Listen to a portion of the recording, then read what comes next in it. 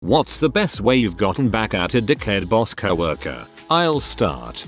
I worked as an installer in a remote office. I traveled a lot for work, often spending weekends on site. This was fine under my old boss, who gave me a lot of leeway by letting me work from home, gave me comp time etc. After 4 years, I got a new boss. Also, the company laid off everyone in my office, about 100 people. New boss insisted I come in anyway, 45 minutes drive, to sit in an empty office. But I still had to travel Sunday through Friday, with no overtime and no comp time. When I complained to HR, the HR manager told me that since I'm salaried, if they wanted me to work 80 hours a week, I would work 80 hours and I shouldn't expect any compensation. Everyone I talked to seemed to think this was true. Salaried equals equals get overtime. This didn't make sense to me. I called the local state Dept of Labor office, told them what I did, what I'd been told. They told me to get a lawyer and if they didn't rectify this, for every dollar they owed me, they would have to pay the state 50 cents in penalties.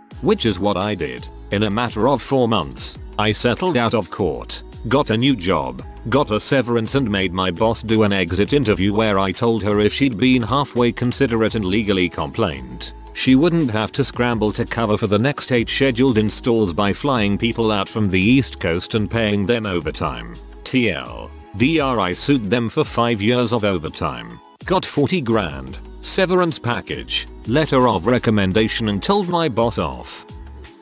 I was a typesetter when it was still done on dedicated typesetting machines, not desktop. This is pretty specialized work and demanded pretty good pay. I agreed to take one job at less than my usual hourly pay for 6 weeks while I learned their system, one I hadn't used before. Well, 6 weeks came and went, and I didn't see my promised raise. In the meantime, the horrible shrew of a paste-up artist went out sick and I was left doing both type and layout. A very important project came up, and there was only me to do it. Without me, they'd be totally and royally fricked. Even if they could find a typesetter who could do paste-up, there was just no time to run the ad, hire and train one. I reminded the owner and manager of the raise I'd been promised when I was hired, and how long ago that was. Then I put all my personal desk choxies in a box, and told them they had until end of business to make a decision. I got my raise, retroactive to my hire date, by 5pm. Only kind of related, but had a verbally abusive boss who would make physically impossible demands and thought she was queen of the workplace, which she was cause her supervisors let her do whatever, even after I reported all this. So during one of her tantrums in which about 12 hours of work is being laid on me at 4pm that has to be done by tomorrow, I tell her, fine I quit. You can't quit. You have to give 2 weeks notice. What? No I don't. Goodbye and good luck with all that work that needs to be done before tomorrow. Very satisfying. Our company was giving us employees an appreciation lunch and had requested a small group of employees to plan and execute the event. On the day of the event upper management got a stick up their butts and decided that the planning committee was using up too much company time. They told us that any of us who worked the luncheon, serving and cleaning up, would have to do it on our lunch breaks or stay late to make up the time. We of course found this unacceptable. Prior to the luncheon we had a huge meeting where all the managers and bigwigs praised all the workers for a job well done etc and at the end asked if anyone had any questions or comments. I stood up and in a very friendly manner said that we needed managers to volunteer to serve the luncheon. All you heard were crickets for about 10 seconds and then a lot of whispering and scrambling as upper management made lower management raise their hands. It was so awesome to see them all using their lunch hour to serve us. I had the boss from heck back when I worked for a logistics company. We will call him David. This particular company did not hire directly for dock workers. You had to go through a temp to hire service, and logistics company had a 90 day window in which the dock super, in this case David, could call your temp agency and tell them your stint at logistics company is over. The temp would be called into the office where David would look at them and say with a large, crap eating grin, IT's just not working out. This prick would ridicule new temps about the way they dressed. Industrial temp workers usually are quite poor. Talked, mannerisms, you name it, in front of everyone at shift meetings. When a new batch of temps would start, He would pick an unlucky one out and ride him or her until they quit or made some minor mistake that he would chalk up to the temp agency as the reason this person is not working out. David was married to some big shot at a hospital in town. She was the breadwinner so he had to problems with keeping some low level super job. To top it all off David was also the only minority with a supervisory position so logistics company didn't want to fire him. EEOFTW. David was simply a shift super for the dock, had no desires to be promoted because he had absolutely no responsibilities except to post a end of shift report, which he had one of the receivers do for him. That was my job. For two years I typed this butthole's nightly reports, knowing full well he never witnessed any of it going on. He just sat in his office eating or riding the dock on a golf cart looking for reasons to fire new people. Anyway, I hired in as a temp, kept my head down through David's horseshit and eventually got promoted to head of a different department away from him. Three years later logistics company decided that receiving David's department was lacking direction and decided to hire a department head for them. I got the job. I was now David's boss. He turned pale when it was announced the next day at work. I thought he was gonna die on the spot. He knew that for years I witnessed every bit of the terrible things he had said and done to the temps. I showed up nightly for 3 months on his shifts to monitor how David ran his shifts, watching him make stupid mistakes one after another. Any one of these things I could have easily terminated him for, but held out and documented everything. When it finally came time, I called him into my office, armed with months years, really of crap to fire him for, but I simply looked at him and told him David, it's just not working out. Someone kept stealing my lunch at work, and me being the pacifist that I am decided to just mention it casually to my wife. I didn't think it was a big deal, but these were the sandwiches that she made for me every day. She decided to make a special sandwich for me which consisted of bread and toothpaste. I put it in the fridge and after lunch it was gone. I don't know if the sandwich was actually consumed, but I told HR about it and they thought it was so awesome. They gave me a $20 gift card to Outback Steakhouse. TLDR someone ate a toothpaste sandwich and I got 20 bucks. Company I worked at for many years fired me without warning. My boss was a freaking strange guy, and I had seen him fire other people without warning as well. He always offered to let people stay on for 60 days so they could find new work, but they would have to sign a document stating that they were voluntarily walking off the job and waiving all right to unemployment. When he fired me, he also gave me the option.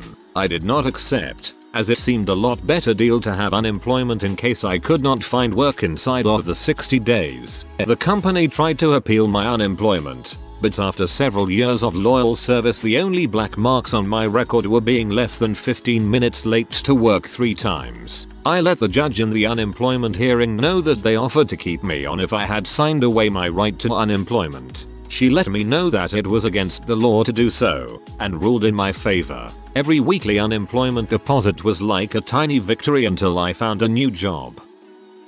This is not my story, but my father's. He was working hard in an early at computer company, back in the late 60s. This is back when IBM was still known as International Business Machines. He was the only one who knew how to support and manage some of the large microcomputers that some of the customers had. His boss was giving him crap over my father wanting personal leave. My mother was just about to give birth to her first child, my eldest brother. He didn't even want to allow my father to leave when my mother went into labor. My father lost his temper, told him to get fricked, how incompetent he was, how he was riding on other people's talent, quit right there and then and left for the hospital. I still remember my mother telling me that my father came in, congratulated her on the birth and told her he had just quit his job. She laughs about it now, but you can imagine how she felt. A day later, the owner of the company called my father and offered him his old boss's job. The kicker, the old boss now had to report to my dad.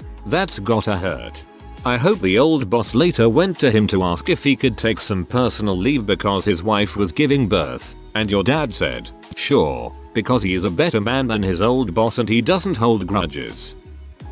I used to have to report website usage, ROI and all sort of statistics for a bunch of different sites. I built a badass mother of a spreadsheet in which you only put a few numbers and it would calculate just about everything the company would need. It was a bit too complicated for my dickhead boss to understand, Yet he would take it to clients and brag he made it, which pee me off. Then, after a while he realized that the spreadsheet was all he needed and could use my paycheck to buy a new house and laid me off. I told him he might need help with a spreadsheet but he said he was smart enough. Before I took off I changed a single formula in the spreadsheet and had a good laugh about the reports it spat out, which made no sense at all anymore.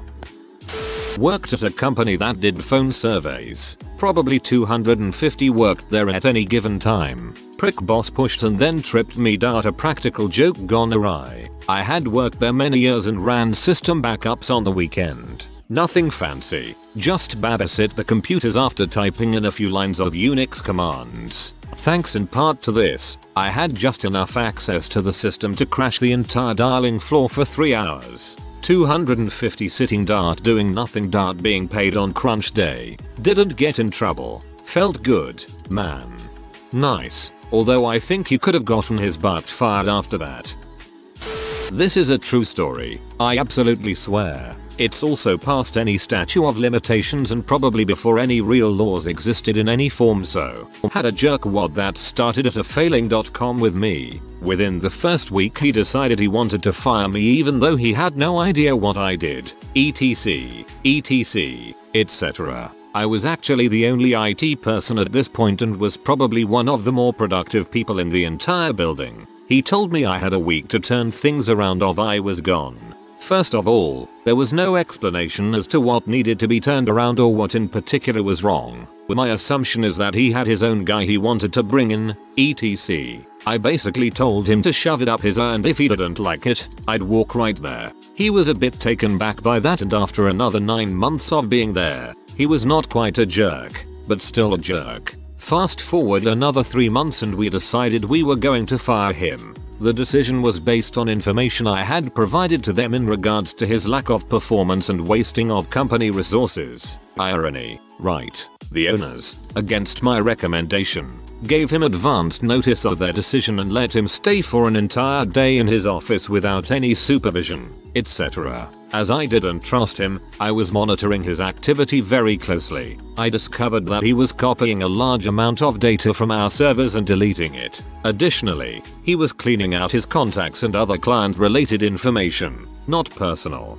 He was copying all of this to a USB drive. On the final day, the owners took him to lunch right before he was going to leave. I took the opportunity to return all of the data he took. I had backups which I was going to restore. However, I didn't want him to walk away with stuff that didn't belong to him. Finally, a couple very very incriminating emails accidentally got forwarded to his wife. He was cheating on her for months and was talking to this other chick about ditching her and screwing her out of HTE house and stuff and leave her with the kids. Not sure how that worked out, but hopefully for the better. Guy was a bit of a scumbag. In regards to the emails, no I was not snooping his private stuff. They were in his work account and when I was removing the items that he took, they were discovered. One had vacation pics of the happy cheating couple of as well. LOL.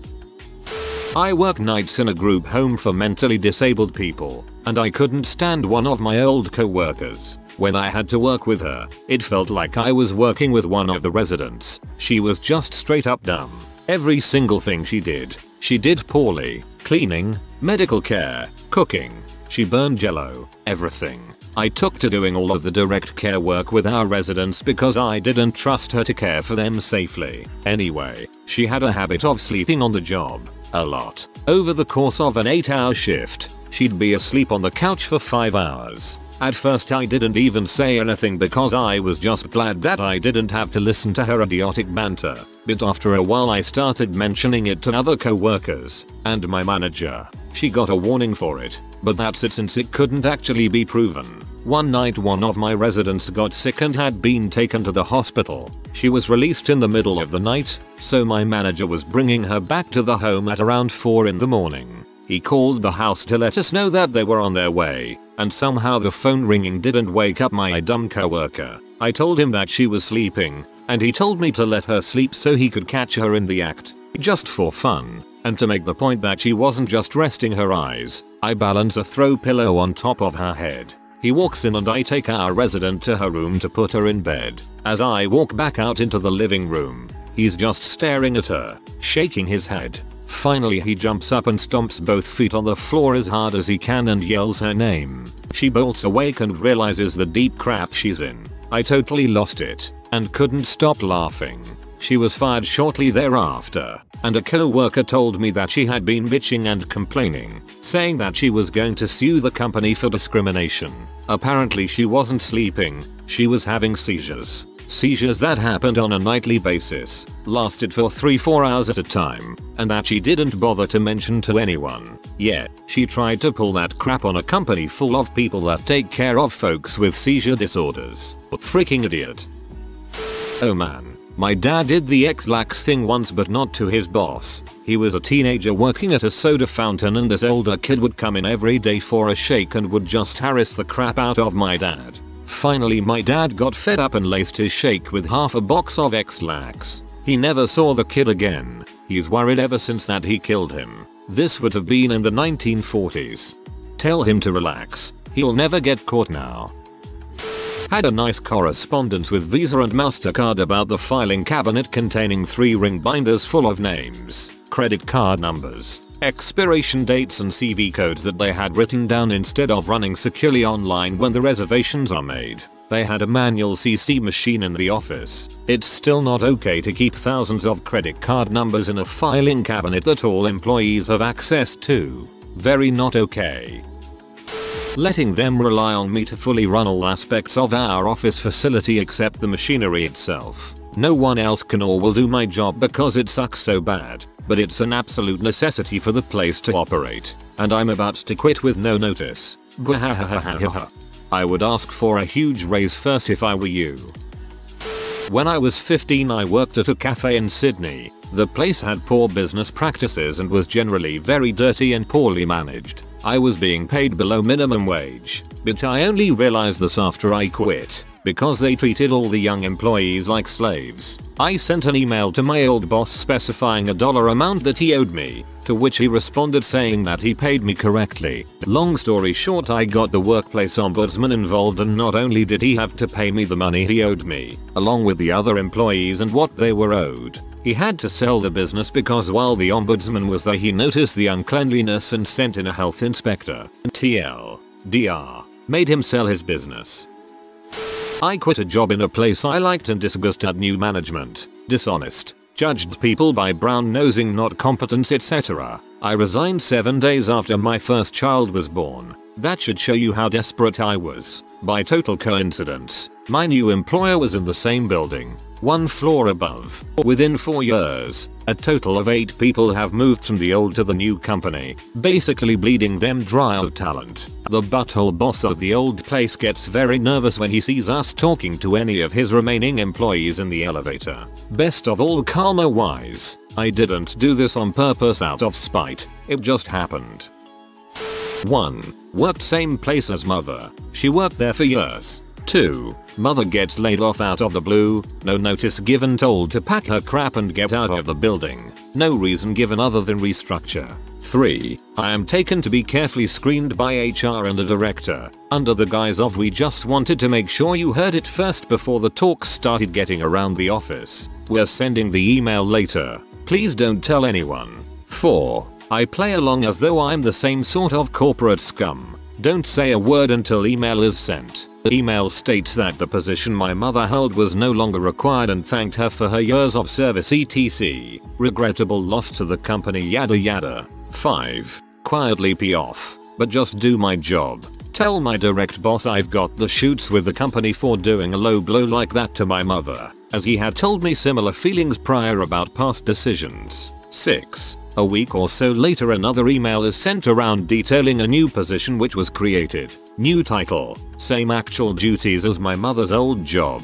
7. Forwarded both emails, copied one to the end of the other, and at the top, wrote anyone else see a contradiction here, emailed it to international CEO, head of HR for the region, both of whom were in other countries. 8. Receive very rapid and very concerned responses from both, as in minutes. 9. Regional HR organizes clandestine meeting out of work hours and a surprise visit and management audit which I am the only one privy to ahead of time. 10. Lots of shouting. Nobody clued into who stirred up the shitstorm. 11. Direct boss I had confided in puts in surprise resignation. Offered me better paying position with the competition quietly. 12. Give no notice and leave a massive job that the only other guy left in the department. Call him the retarded one. Has no idea how to start let alone deliver. They ended up paying an external contractor for a week's worth of on-site fuck up fixing, as well as reimbursing the customer for the service charges due to the fuck up.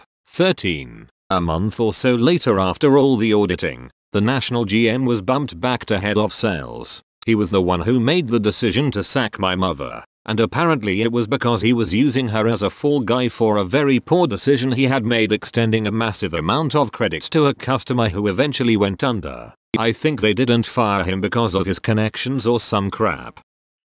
I worked with a supreme douche for a few months in my early 20s. One of those guys that tells stories to try and impress other people but really just ends up making himself look like an butthole, cheating on his GF, beating people up for fun, selling drugs. It was a boring mindless job so I took it all in stride. In one ear out the other, until the night I see him selling pills right in the middle of the store, amongst the 812 security cameras. I didn't pull any badass moves to get him busted, just reported to the owner, whose son is a sheriff with the state police, who watched the tapes and he was gone within hours. Felt okay.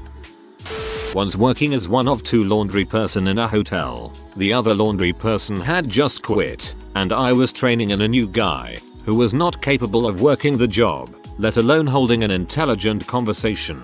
I just got another job offer, and asked for them to match the salary of the new job to keep me on.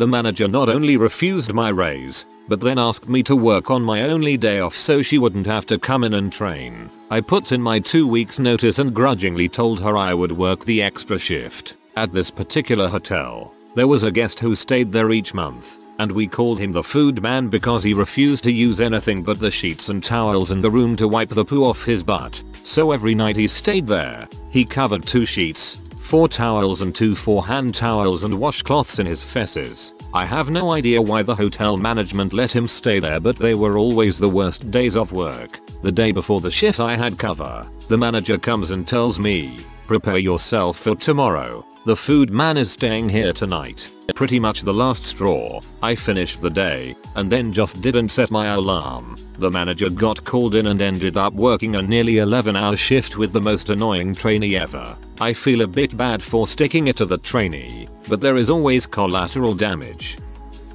I worked at a lame office job for 4 plus years and my boss turned into a jackass. Had to deal with his b-wife and bratty butt kid, babysitting included. They are were rich. Decided to quit. Handed in a month's notice to make it easy for him to find someone and so I could train them well. He spent an hour plus reaming me out about how terrible I was. I ran the office, ran it, and he told me to pack up my desk and leave. By doing that, I was able to qualify for unemployment for the past 3 years and fulfill my acting career. The best part is, I'm in a commercial that plays during crappy bus TV, which he and his awful family watched all the time. So him having to see my face regularly is the best revenge ever.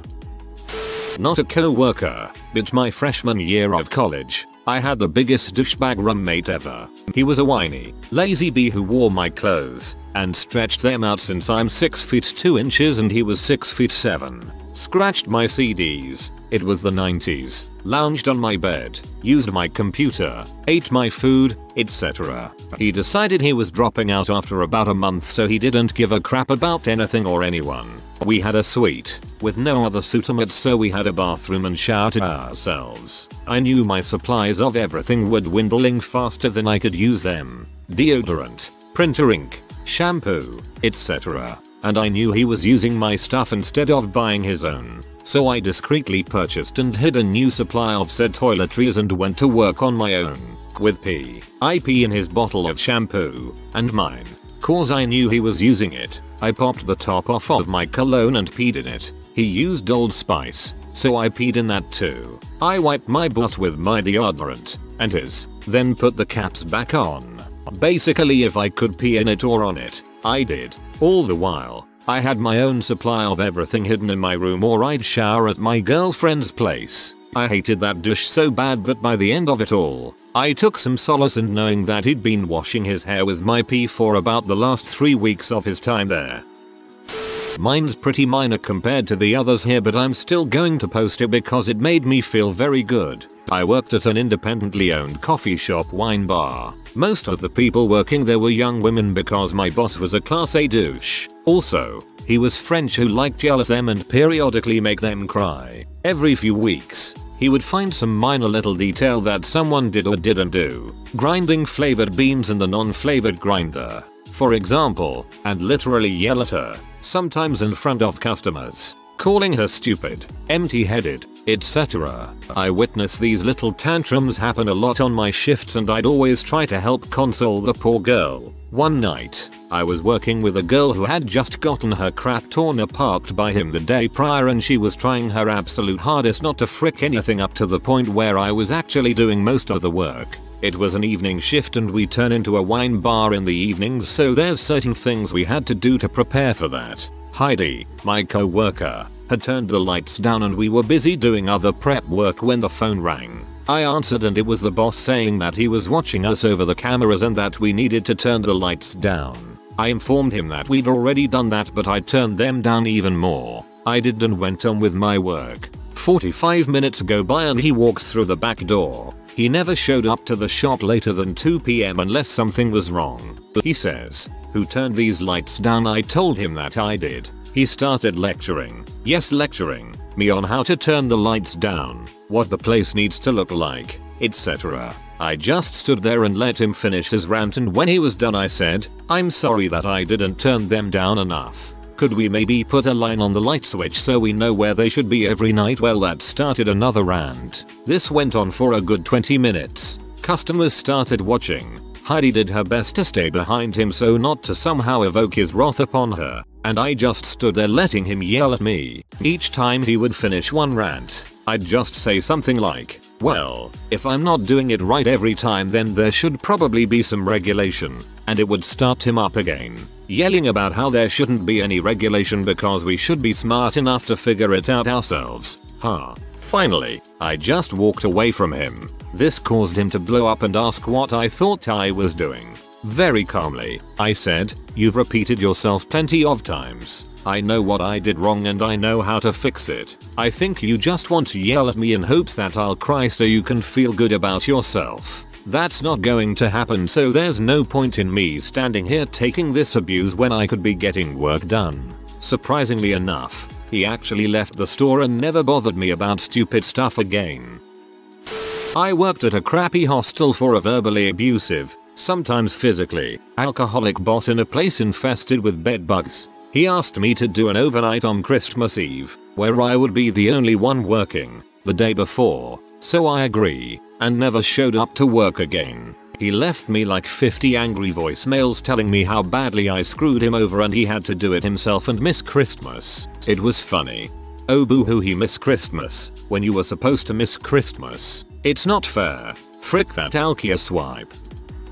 I had a manager at a clothing store who just went on a power trip anytime the boss was around tell them how much she was selling and that the store basically ran only because of her. She would use her red card to ring up our sales. Anyway, Valentine Day came around and I bought one of those huge box of chocolate shaped like a heart and put it in the back room with a note from the boss, whom was married, telling her how much he cared for her and that he wishes they could spend more time together and to call him if she felt the same. She did. Turns out they had an affair. The wife found out and left the boss who in turn fired the manager. I only heard of the turnabout later, because I quit shortly after V-Day. It still made my day.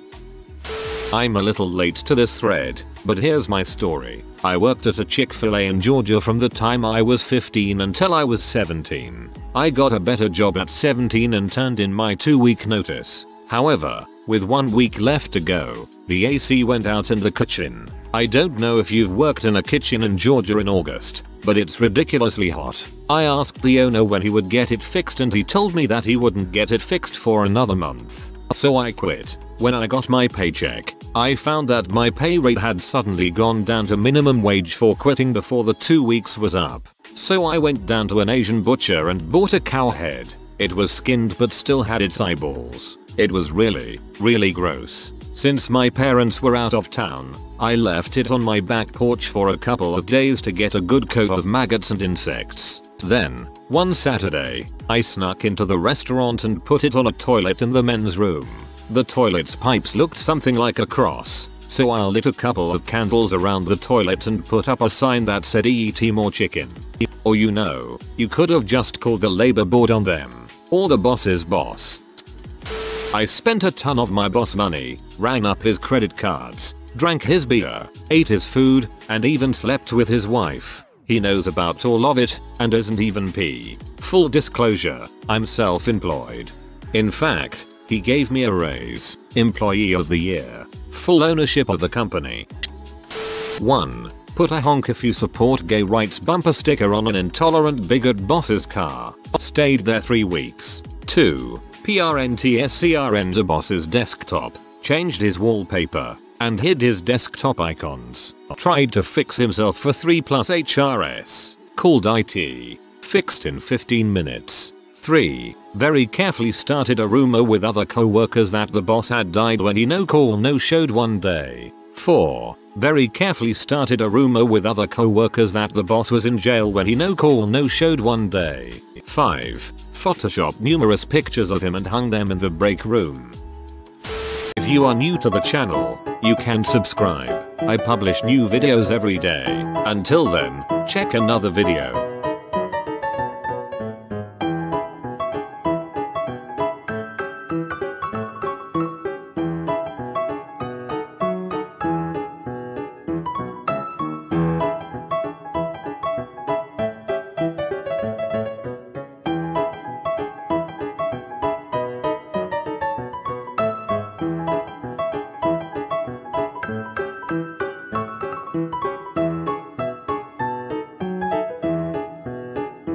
Bye for now.